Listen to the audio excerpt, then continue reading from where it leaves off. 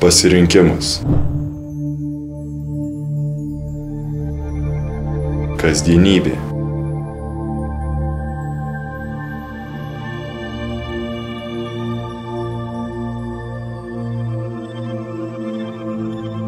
Treniruotės.